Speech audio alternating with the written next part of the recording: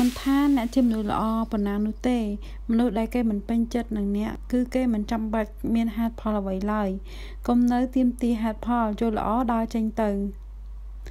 រក្សាជីវិតឲ្យដូចជាថ្មនៅក្នុងរលកសមុទ្រទោះរលកធំប៉ុណ្ណាក៏មិនខ្វល់មិនរង្គើចិត្តស្ងប់គឺជាប្រភពធម្មពលនៃភាពខ្លាំងអស្ចារ្យរបស់មនុស្សអនុភាពរបស់វាមនុស្សធម្មតាមិនអាចដឹងការពិតបានឡើយ បើមិនប្រថុយធ្វើមិននឹងបានស្គាល់រសជាតិស្មៅឆ្ងាញ់បើមិនប្រថុយធ្វើមិននឹងបានស្គាល់ទីខ្ពស់បាន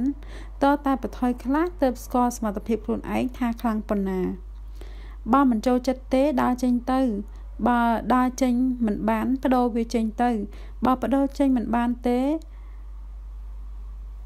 បដូរទស្សនៈចំពោះវាទៅ